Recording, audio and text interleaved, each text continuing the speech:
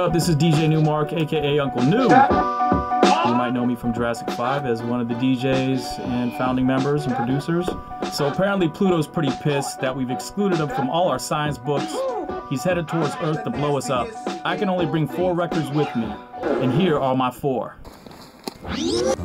Cool, so yeah, I think uh, Serge Gainsbourg would be one of my picks here. Histoire de Melody Nelson is the album. My joint would be Ballade de Melody Nelson. Reason why Serge Gainsbourg is he had a way of putting um, orchestration in place uh, where you really felt it. Uh, I'm into melancholy kind of deep music and he, he really touches on that. 14 toi et 15 été. Placebo would be my second pick. Ball of Eyes is the name of the album. Um, I'm gonna play a song that I like off the album called uh, Araya. I really love Placebo because they they're into really deep chords, um, good horn section, great great producer Marc Moulin, amazing amazing group.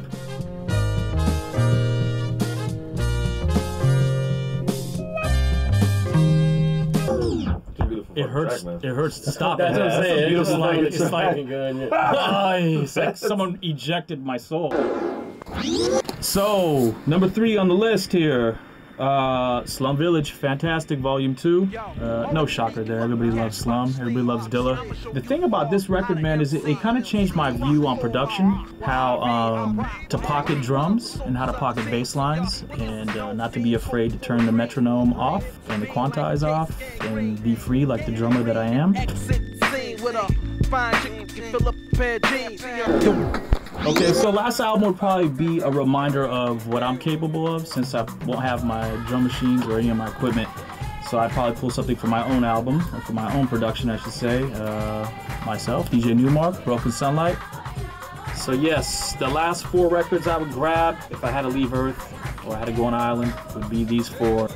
Uh, yeah, that'd be my four, y'all. caia de beijo.